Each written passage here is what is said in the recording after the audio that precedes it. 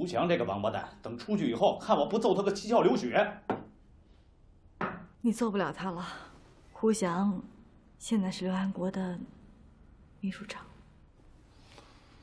他是谁的人，现在还说不清呢。孔先生正在想办法，把大胡跟小胡先弄出去。孔先生真是高人呐，佩服。他说，在这些事儿上，你应该比他还有主意。主意倒是有，就是没有办法施展。要是能把他们两个放出去就好了。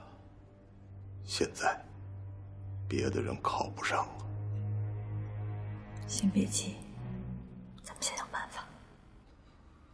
我们的案子，刘安国现在是什么态度？原来打算十五号，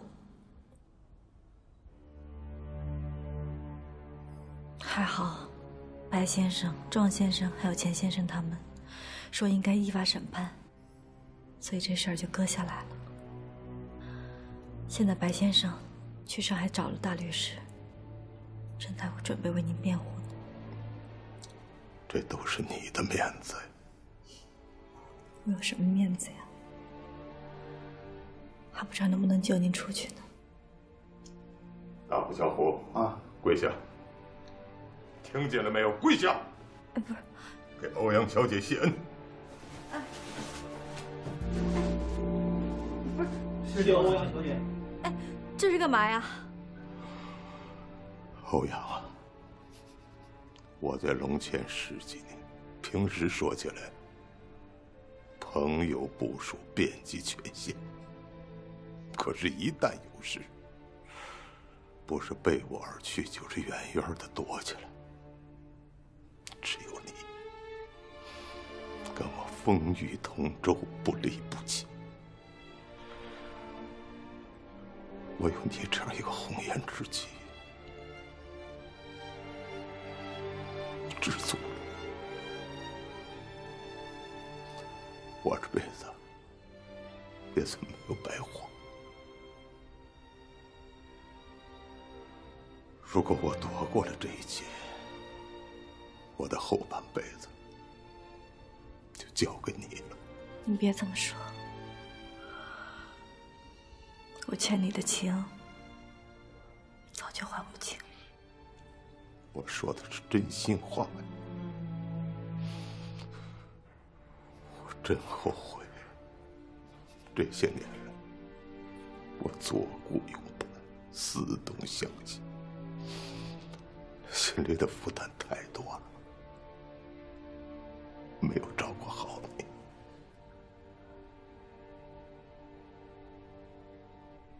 千万别这么说。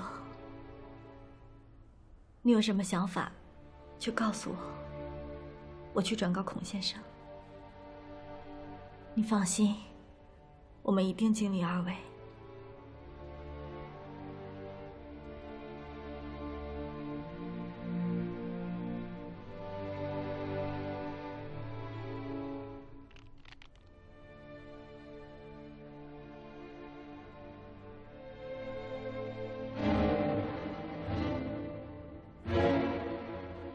下一次再见了面，这事儿你要和他撇清，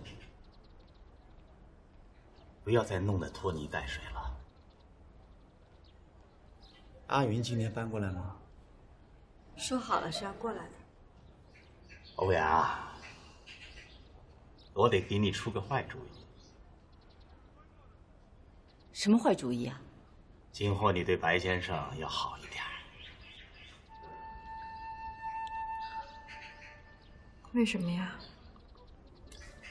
白先生是个正人君子，以后未必有高官厚禄，但肯定靠得住。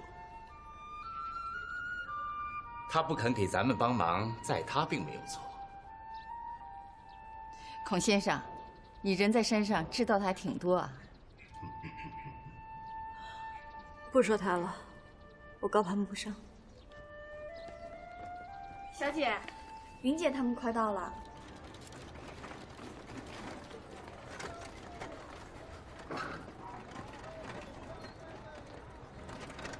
都拿下来。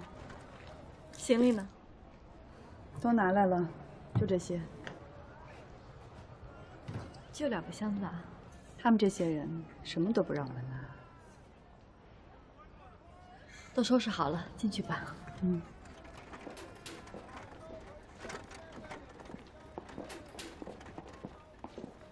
事吧？以后可得小心点儿。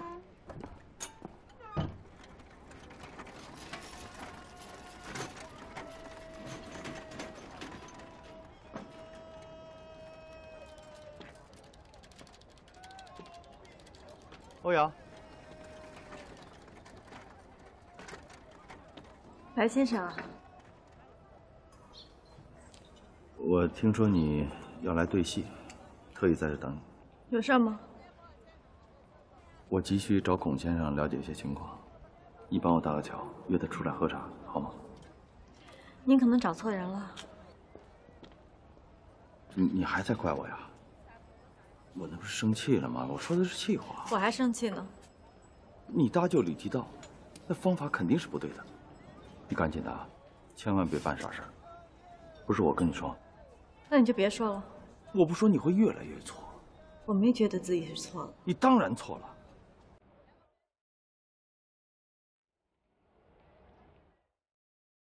我还有事儿。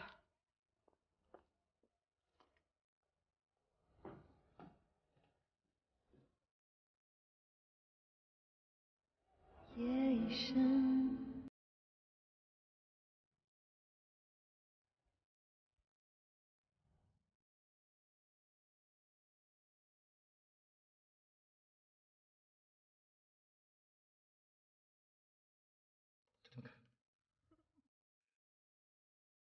这么看，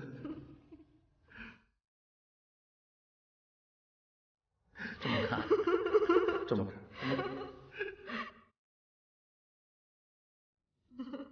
也祝白先生新婚大喜。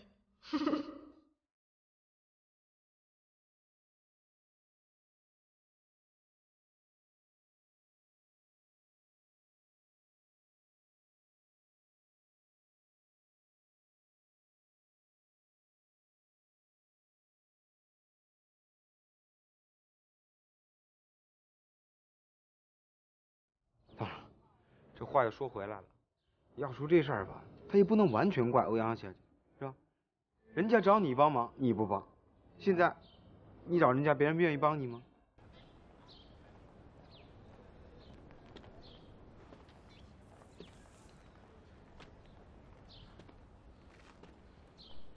哎，其实，在我觉得呀，他心里头肯定还是有你的，是吧？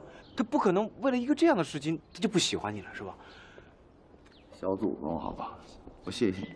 你您该干嘛干嘛去，好吗？哎，别照了。林正，你怎么躲到这儿来了？让我好找啊！我刚才清点了一下粮库，就剩下一千多斤粮食了。不是粮食啊！你还得赶紧想办法。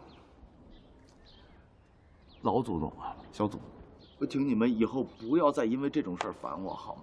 我自己的事儿还忙不过来呢。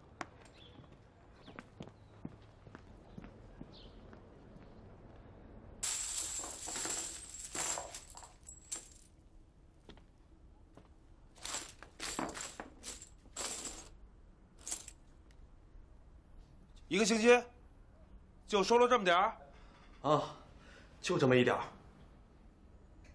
胡霞，胡霞，胡霞，哎，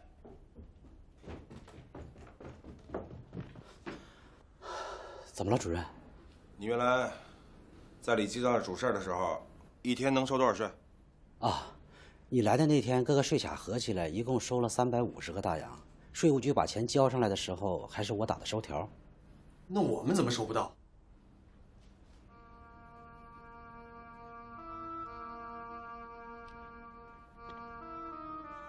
你们跟我老实说，是不是塞到你们自己口袋里了？没有，没有，绝对没有，主任。主任，这个事儿也不能都怪他们，这收税需要有一套办法，他们哪懂这个呀？他们不懂，那我问谁啊？啊？这赈灾会那边天天跟我要钱要粮食，我拿这拿这买，够吗？主任，宪兵队的薪饷早就该发了。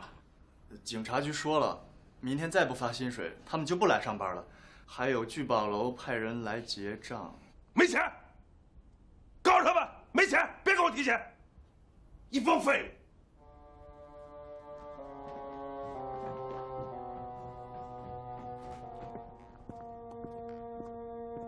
主任，税务局的人恐怕还得启用，要不然没人知道怎么收税。启用启用，明天就让他们去收税。哎，你来干什么来了？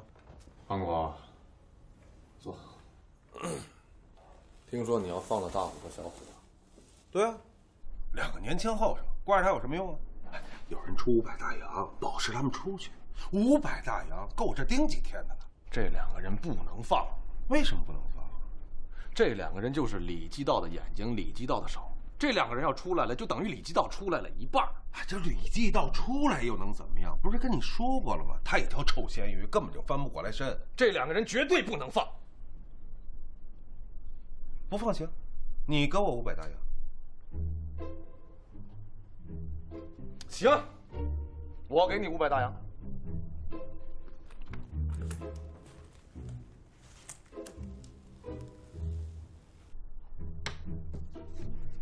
拿到银行兑换现金。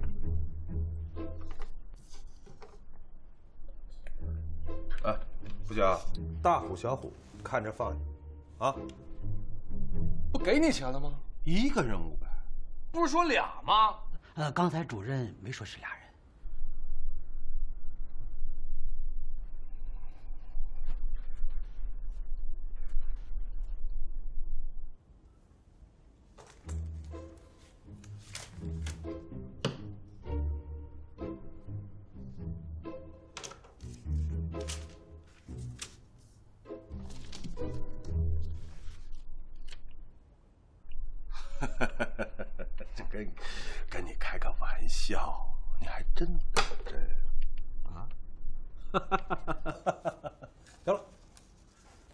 算你赈济灾民了，好吧？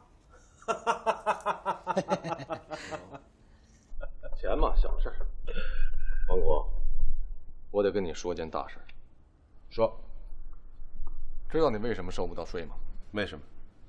因为在龙泉人眼里。你刘安国就是个过客，他们认定李继道还会回来，还会回到县府，这龙泉的天下还是人家李继道的，不可能。就算李继道不死，他至少在里面也得关上十年八年。民国以来判刑的人多了，有几个把牢底坐穿的？嗯，况且能不能判刑，还不一定呢。你什么意思？您看这个，啊？这是前天的《长平日报》，省长秦平之觐见蒋委员长，委员长殷殷加冕。不是，委员长怎么会见这个人呢？他是 CC 那条线上的，见委员长当然不会太难。前一阵，刘总司令得到蒋委员长的任命，在长平建立了军政会，统管军民两政，这就等于架空了省政府，对吧？秦平之自然不愿意把权力拱手让人，他立刻跑到重庆见了 CC 一派大佬。现在又觐见了蒋委员长，这就说明他的活动有了效果。你看，那报上说委员长殷殷加冕，如果这要是真的，他返回长平的时候，应该会从军政会得到一部分权利。不可能，绝不可能！刘老总。深得委员长信任。你知道李继道是秦平之的人，前一阵没权的秦平之那是丧家之犬，自顾不暇，管不了李继道的事儿。现在不一样了，现在他觐见了蒋委员长，这说明什么？那他现在是春风得意，手握圣旨啊！李继道的事儿他不会不管的。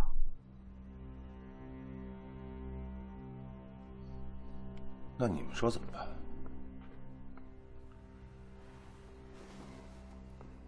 你现在还握有生杀大权，趁秦平之没回来，你赶紧把李继道押赴刑场，枪毙了事，越快越好。杀了也就杀了，对不对？你是军政会的人，惩治汉奸，那名正言顺。秦平之说不了话，可没有可是。王国，你要不杀李继道，你连税都收不到。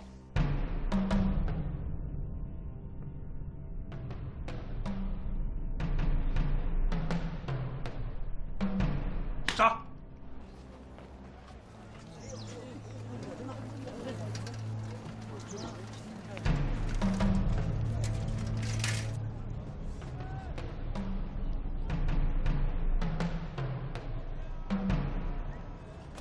又要杀李继道了，还经审判？审判庭还没组建起来呢，经谁审判？不是说好了等我们查清楚案情再枪杀李继道吗？这这案情刚刚有点眉目，把他给毙了，那我们还查个屁啊！朝令夕改，把杀人当儿戏，这里面啊肯定又是政治原因。当政者用杀人来解决问题，这还是原始部落的政治水平。可是枪毙了李继道，我们怎么办啊？我们的文物那岂不是永远找不回来了？你的想法不无道理，一来事发突然始料不及，二来大家伙心里都明白，这是李继道的报应。处理这件事既不能逆众，又要想办法拖延枪毙李继道的时间，这是火中取栗，投鼠忌器之事。现在只有去找刘安国才能解决问题。你马上把这封信送给刘安国。你还真管李继道破事儿啊？这事和李继道无关。我要告诉龙泉执政当局应该如何执法。在民主社会里，任何人也不可以把生杀大权掌握在自己手里。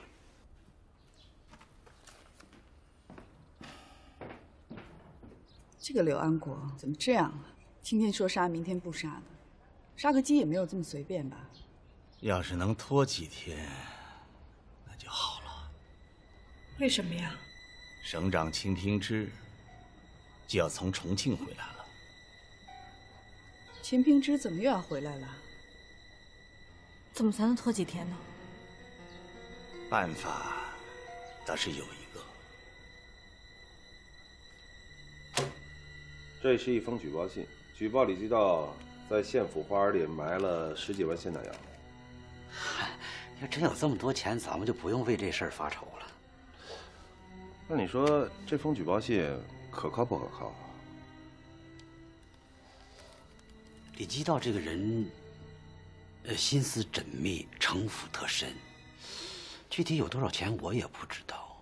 不过要说他在花园里埋藏了上十万的现大洋，似乎有些耸人听闻。那你的意思说这事儿不可信？十万我不敢相信，要说两三万，那还有点可能。不行，你在李继道身边干了这么多年，他是什么人你不知道啊？啊，他多有手段啊！他就说一年贪污一万，十年加起来十万吧？啊，他一年贪污两万呢？那十年就是二十万啊。对呀，他怎么可能没有十几万现大洋呢？对不对？你先带人给我挖，上下左右一定给我挖，听见没有？我马上提审李继道。我要一定要撬开他的嘴，我一定问清楚他到底有没有这件事。那，你明天不枪毙他了？哦，进来。主任，欧阳小姐要见你。这这，让他进来。欧阳小姐，请。哎呦，欧阳小姐来了，稀客稀客啊！来，里面请，上茶。主任，主任，那我就先走了。哎，你什么意思？欧阳小姐来了你就走，不给欧阳小姐面子是不是？倒也不是。坐。哎，好。欧阳小姐，请坐。欧阳小姐可是咱龙泉一枝花啊，聪明漂亮，戏唱的可是真好。那是。欧阳小姐今天来有何指教啊？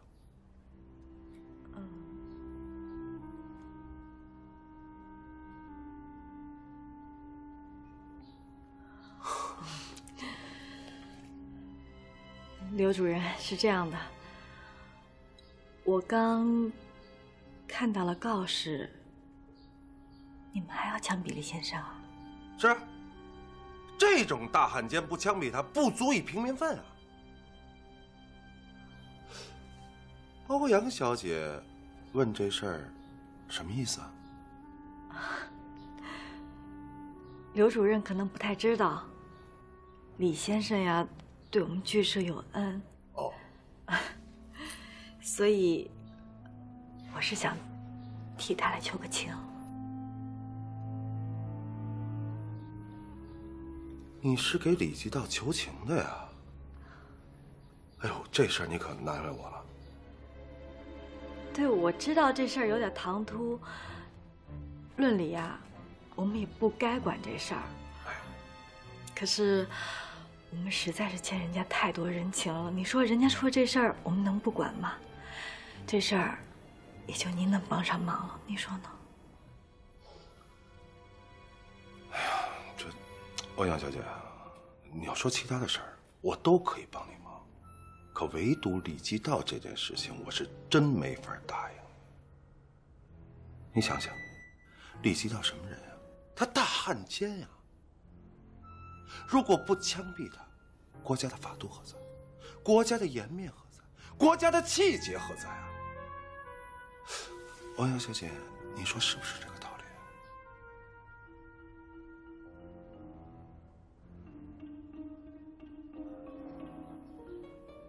啊，是。这样吧，国家的事情其实我也不懂。您看，您能不能想想办法，帮帮我，晚枪毙他几天？晚枪毙他几天？就几天。为什么要晚枪毙他几天？这事儿是这样的，过几天是李先生的六十寿辰，怎么着也得让人家……哦哦哦，我听出来了。哎呀，欧阳小姐有情有义，在下佩服啊，难得，难得。不行，欧阳小姐这份情谊，咱是不是得成全啊？那得成全。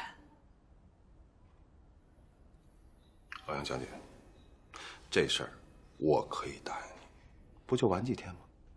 好，我一定让他过了这个寿，给他凑个整儿。那多谢刘主任了。不客气。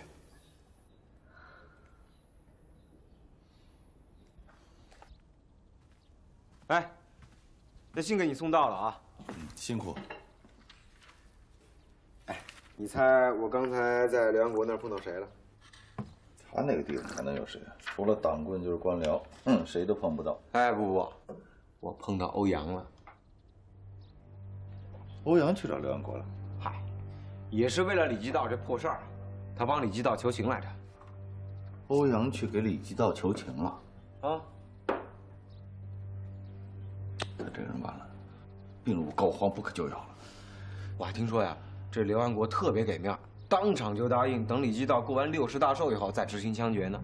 这不胡闹啊！刘安国根本就不配做这个执行官。这个欧阳也是，我苦口婆心的跟他讲了那么多，他怎么就不明白呢？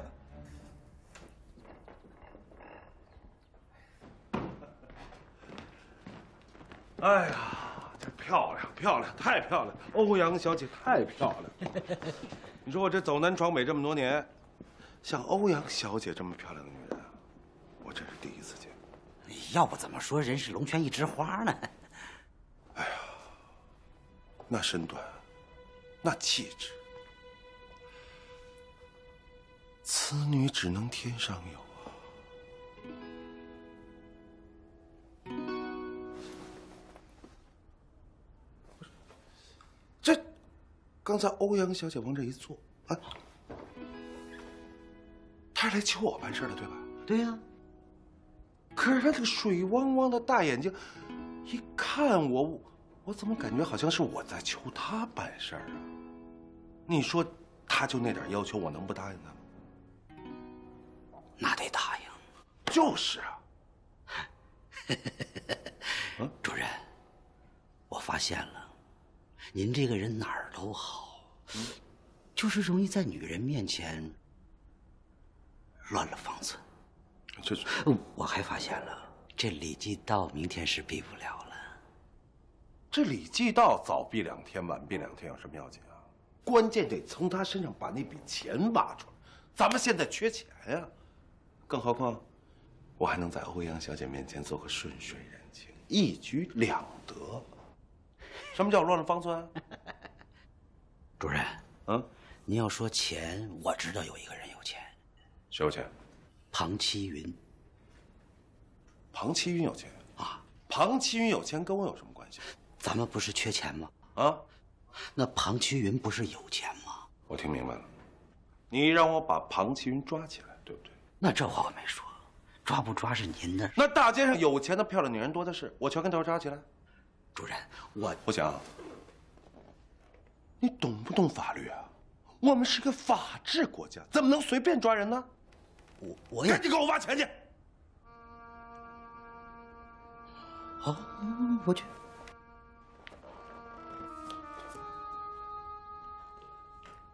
欧阳，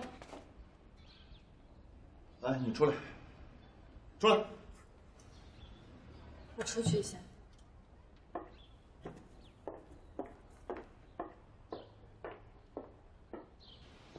白先生打上门来了。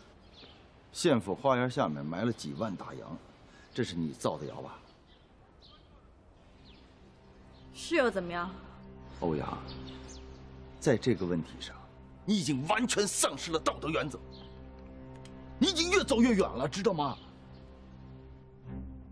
稍等会儿，你还你还有脸亲自上门去找刘安国？你太不聪明了，白先生。白先生，屋里坐。我说嘛，谁是他的幕后指使啊？孔先生，你真的不应该让他这么干，你真的不应该让他去找刘安国。白先生说的对，确实是不应该。我们也是怕前面的办法不保险，才这么双管齐下的。难道你你们没有想过吗？你们还了李吉道的人情。可是又欠了刘安国的人情啊！你们已经陷得太深了，你们不知不觉的已经陷入到龙泉的政治层面，那不是你们待的地方，赶快停下来好吗？而且，这对你的名声非常不利，非常不利。我本来名声就不好，白先生不用为我操心了。欧阳。我们以后还是不要联系了，免得坏了白先生的名声。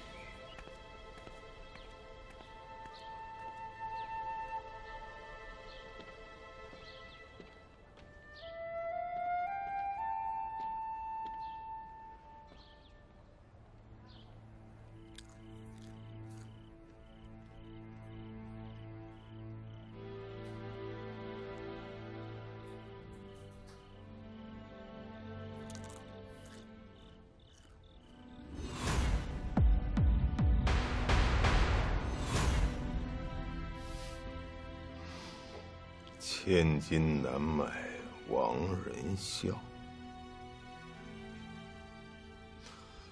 大户小伙，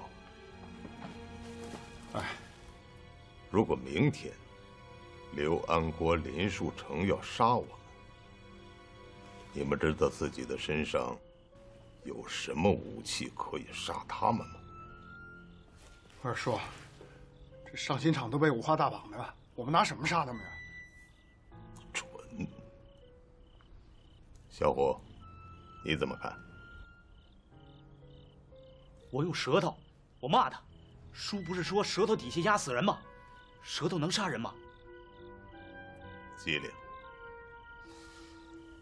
听说过“千金难买亡人笑”吗？就是枪对着你的脑袋，刀架在脖子上，你要学会。用你的心去杀他，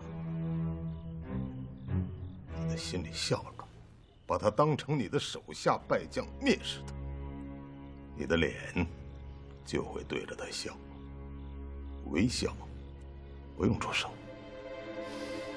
笑得他心里发虚发怵，笑得他毛骨悚然，没准儿你们还能得救。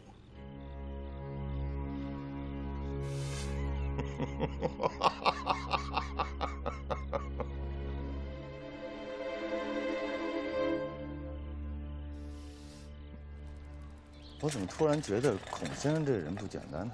我父亲跟我说了，这老头深不可测着呢。他设计的这缓兵之计高明的很啊。梁安国想不上当都不行。他原先是欧阳家的管家，后来才跟了李继道。我父亲说呀，这李继道之所以能够四平八稳的做了四朝元老，跟他的谋划完全离不开。反正我瞅这老头就不像个好人。他很有能量，咱们名单上为什么没有他？这么一个孤老头子，干不了这种事儿吧？不过这人不可貌相，表面上我也看不出来啊。把他列在名单上，重点调查。哎，博士，小郑回来了。快点，快点，快点您辛苦了，来，快过来，过来，过来。好，谢谢。辛苦了啊！照片的拷贝带回来了吗？带来了。哎呀，调查河工举的情况呀，确实花费了一番周折。庞旭云这个人没有问题，他提供的情况呢准确。现在这批文物最大的疑点呢，还是李奇道。我怀疑啊，《燕江谍账图》这幅画的真迹，已经落到了李奇道手里。可奇怪，他入狱之后，庞奇云到他的房间里仔细的找了一遍，没有发现任何线索。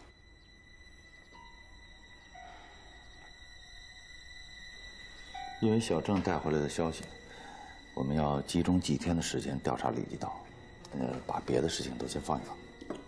你是不是担心他突然被枪毙了呀？柳安国这个人，完全不讲法度，真说不定哪天晚上他把李继道拉出去。这个人的权力和他的水平就完全不成正比。要说到当官的话，李继道可比他强多了。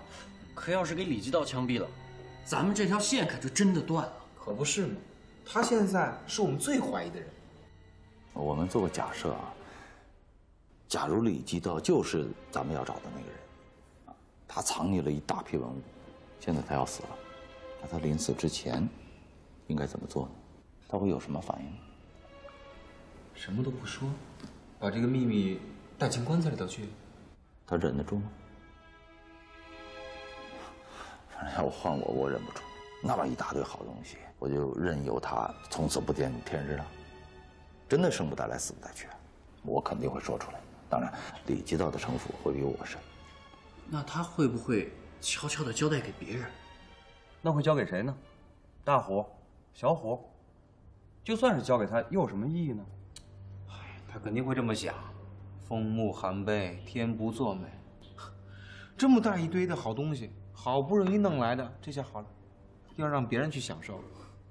大虎、小虎并非他的儿女，他怎么怎么可能把这么好的东西留给他们呢？其实还有一种可能，他会会不会用这批文物和政府做个交易？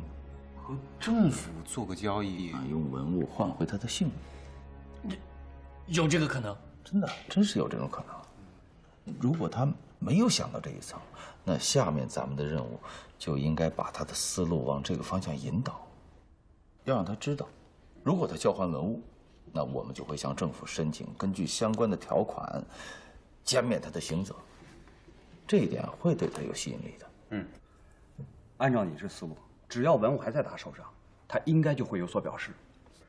说的没错，你要想想，这文物要是他真被枪毙了，这文物跟他也没有任何意义了呀。总而言之啊，现在不能立即枪毙李继道，一定要给我们一个充足的时间，对李继道进行诱导和调查。你们几个听好啊，从这儿往下挖。挖什么？挖鱼池啊？我让你挖你就挖，你问那么多干什么呀？啊，挖，哎，都挖吧。这儿啊，从这儿往下挖，使劲挖。挖多深啊？我要没喊停，你就一直挖，听懂了吗？哎，明白。挖吧。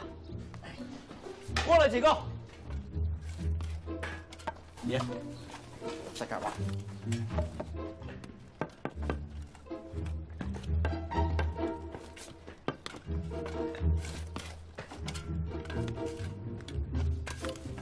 你上了李继道的当，什么意思啊？这是李基道的缓兵之计。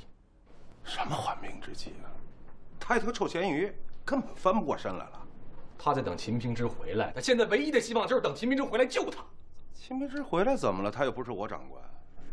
韩国，你听我说，听我的话，你一定把李基道这个王八蛋给我毙了！哎呀，不能枪毙李基道，大洋还没找着呢。哪有什么大洋啊？这是缓兵之计。我不管什么缓兵之计。哎，万一李基道藏了几万大洋？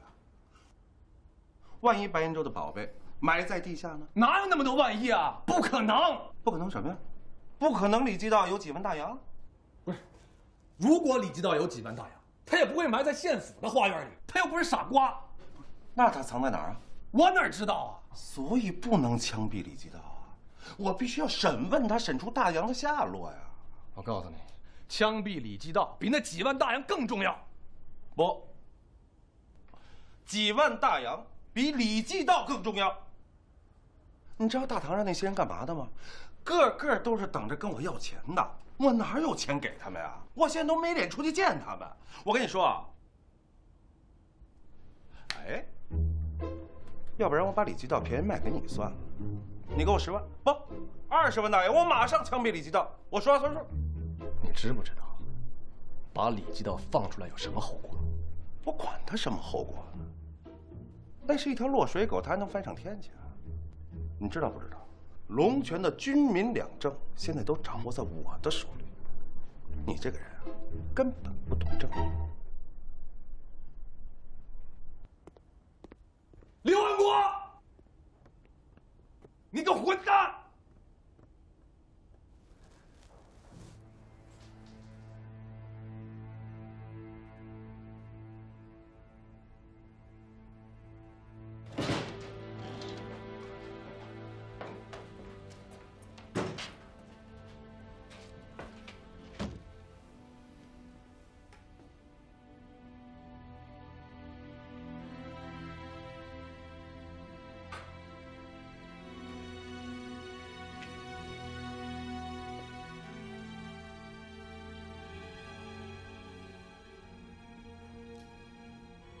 知道想好了没有？我根本就没有钱，你让我想什么呀？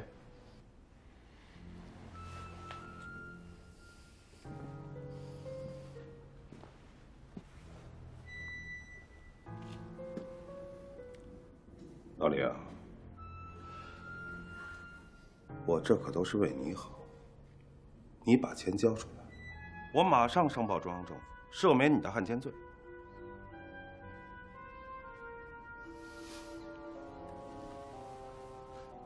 真的？真的？哎呦，我现在后悔死了。后悔什么呀？你想啊，贪污他几万大洋，再把它藏起来，这不难呐，我做得到。可我怎么就没想到这么干呢？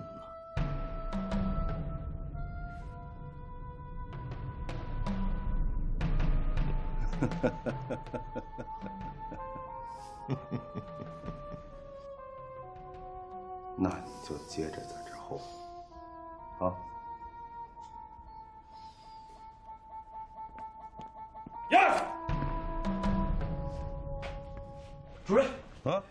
聚宝饭庄大车让一群叫花子给抢了，在哪儿啊？在北大门外。谁让他们走北门的？不知道那是咱民多呀？记着啊，找咱们的人收钱啊！哎呦，二位先生来了，去吧。是。哎呀，你说这这这这这这么点小事都找我，这这个小官儿，再不给周厂送粮食去，可真要出事儿了。庄先生，你嗓子怎么样了？急的。啊，你知不知道那边都快死人了？这不刚断粮，怎么就饿死人了？你瞎着急。那些人可没有你这么能挨饿。你就是每天什么都不吃，五六天也饿不死。啊，白人，那你平常吃的好啊，你好吃好喝，你油水大。可他们不一样啊，这段时间了，每天都是稀饭野菜汤啊，一天都饿不起了。我不是在想办法吗？可那税务局收不上来钱，你让我怎么办、啊？你是政府，除了收税，你应该还有其他的办法。我还真没有别的办法。那白先生，你跟我说，你有什么别的办法没有？你坐在这个位置上，你问我。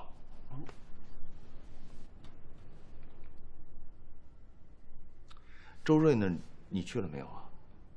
你好好向人新四军请教请教，人家是怎么做到的？说这成天乱哄这么多事儿，我一直没腾出功夫去。不过二位，现在当务之急，咱们是把李基道藏的那笔大洋找出来。哎，找出这笔大洋来，咱们的日子都好过了，啊！哎，你们知道不知道李基道把大洋藏在什么地方了？